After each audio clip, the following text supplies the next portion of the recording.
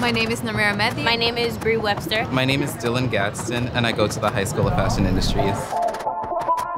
We are showcasing our final designs at the Meatpacking District. We get to be firsthand in the world of fashion, art, and business.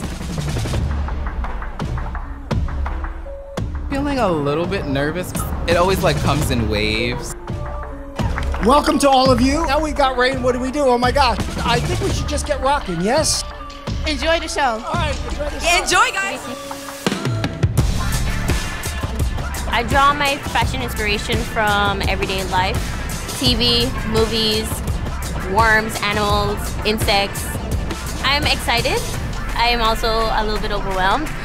This is an extremely big stage. There's a lot of industry professionals. I don't see myself doing anything else out of fashion. It just like has such a big place in my heart. Um, it means a lot to me to show my work in the meatpacking district because it's like in the middle of New York. It's like crazy.